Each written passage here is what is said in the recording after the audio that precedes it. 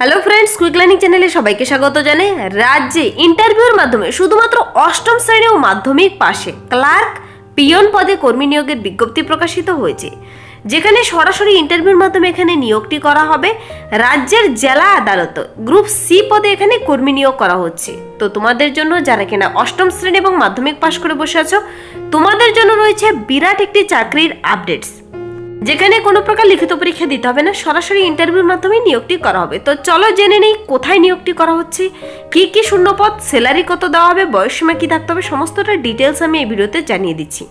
তার আগে তোমাদের কাছে একটি অনুরোধ, পুরো ভিডিও অবশ্যই দেখো আর চ্যানেলে নতুন হয়ে থাকলে চ্যানেলটিকে সাবস্ক্রাইব করে রেখো। সরাসরি অফিসিয়াল নোটিশটি দেখতে পাচ্ছ অনস্ক্রিনে যেখানে পদের নাম বলা হয়েছে বেঞ্চ ক্লার্ক স্টেনোগ্রাফার পিয়ন তো এখানে বেঞ্চ ক্লার্ক, স্টেনোগ্রাফার এবং পিয়ন পদের জন্য প্রত্যেকটি পদে শিক্ষাগত যোগ্যতা, বেতন বয়সসীমা আমি বলে দিচ্ছি।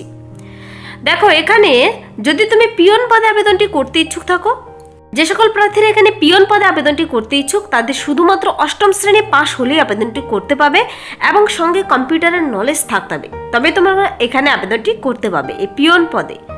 নেক্সট দেখো, জেলা আদালতে স্টেনোগ্রাফার পদেও কর্মী নিয়োগ করা হচ্ছে। স্টেনোগ্রাফার পদে যদি তুমি আবেদনটি করতে ইচ্ছুক থাকে তোমার মাধ্যমিক পাস যোগ্যতা থাকলেই তুমি এখানে আবেদনটি করতে পাবে। যারা কিনা মাধ্যমিক পাস করে বসে আছো, তোমরা এখানে এই স্টেনোগ্রাফার পদে আবেদনটি করতে পাবে। এখানেও কম্পিউটার নলেজ থাকতে হবে এবং স্টেনোগ্রাফিতে মিনিটে আশিটি শব্দ টাইপ করার দক্ষতা এবং তিরিশটি শব্দ টাইপ করার দক্ষতা থাকতে হবে।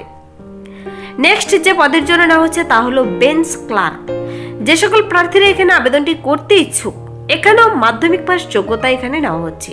তো মাধ্যমিক পাশে এখানে বেঞ্চ ক্লার্ক পদে আবেদনটি করতে পাবে এখানে ইংরেজি ভাষা ও বাংলা ভাষা লিখতে, পড়তে জানতে হবে এবং কম্পিউটারের নলেজ থাকলে এখানেও আবেদনটি করতে পাবে তো জেলা আদালতের রাজ্যের তিনটি পদেই শুধুমাত্র মাধ্যমিক আর অষ্টম শ্রেণির পাশে নিয়োগটি চলছে। তো প্রত্যেকটি পদের জন্য এখানে বয়স সীমা কত থাকতে হবে দেখো।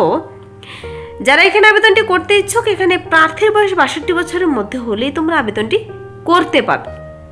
এবার প্রশ্ন হচ্ছে ইন্টারভিউর ঠিকানা কীভাবে নিয়োগটি করা হবে এবং আবেদনটি কীভাবে করবে? দেখো, এখানে ইন্টারভিউর সময় বলে দেওয়া রয়েছে। এই তিনটি পদের জন্য ইন্টারভিউর সময় বলা হয়েছে ছয় ছয় দু হাজার তেইশ তারিখে ইন্টারভিউ হবে, সাত ছয় দু হাজার তেইশে ইন্টারভিউ হবে এবং আট ছয় দু হাজার তেইশ। মাসের ছ তারিখ, সাত তারিখ, আট তারিখে ইন্টারভিউ হবে তোমাদের। যারা আবেদনটি করতে ইচ্ছুক, তাদের কিন্তু আবেদনটি করে দিতে হবে এবং ডাইরেক্ট ইন্টারভিউ ভ্যানিতে পৌঁছে যেতে হবে। নিয়োগটি করা হবে, আগেই বলেছি, এখানে কোনো প্রকার লিখিত পরীক্ষা দিতে হবে না। সরাসরি ইন্টারভিউর মাধ্যমে নিয়োগটি করা হবে।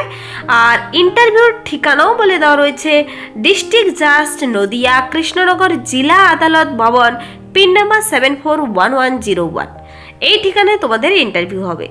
তো এখন প্রশ্ন হলো, তোমরা আবেদনটি কীভাবে করবে? দেখো, যারা আবেদনটি করতে ইচ্ছুক অফলাইনের মাধ্যমে কিন্তু আবেদনটি করতে হবে। তো এই ভিডিওর নিচে ডিসক্রিপশন বক্সে যে অফিসিয়াল নোটিশটি দিয়ে রাখব, সেখানে তোমরা আবেদনপত্রটিও পেয়ে যাবে। সেটিকে প্রিন্ট আউট করে বের করে নিতে হবে। তারপর যা যা ডকুমেন্টস বলেছে, তা সেলফ অ্যাটেস্ট করে একটি মুখবন্ধ খামে নির্দিষ্ট ঠিকানায় পাঠিয়ে দিলেই হবে। যে সমস্ত ডকুমেন্টসগুলো লাগবে, দেখো, বয়সের প্রমাণপত্র, শিক্ষাগত যোগ্যতা certificate, Aadhaar card, vote card অথবা প্যান কার্ড, কম্পিউটার সার্টিফিকেট যদি থাকে, কাস্ট সার্টিফিকেট যদি থাকে, রঙিন পাসপোর্ট সাইজের ফটো এবং পিপিও নম্বর লেখা প্রমাণপত্র। তো এই সমস্ত ডকুমেন্টস দিয়ে তোমাদের নির্দিষ্ট ডকুমেন্টসগুলো অ্যাটাচ করে দিয়ে খামের মাধ্যমে পাঠাতে হবে নির্দিষ্ট ঠিকানা আর ইন্টারভিউর দিন ইন্টারভিউ স্থানে পৌঁছে যেতে হবে। দেখো এই যে বেঞ্চ ক্লার্ক স্টেনোগ্রাফার এবং পিয়ন, এই সমস্ত পদগুলোর জন্য শুধুমাত্র অষ্টম মাধ্যমিক পাশে এখানে নিয়োগটি হচ্ছে। তো নিচে অফিসিয়াল নোটিশটি তোমরা আরও কিছু যদি ডিটেলসে জেনে নিতে চাও, অবশ্যই নিচে দেওয়ার নোটিশটি তোমরা ডাউনলোড করে চেক আউট করে নেবে। তো এই ছিল আজকের একটি ইম্পর্টেন্ট সাবজেক্ট এরকম প্রতিনিয়ত চাকরি আপডেটসগুলো পাওয়ার জন্য চ্যানেলটিকে এক্ষুনি সাবস্ক্রাইব করে রাখো। Thank you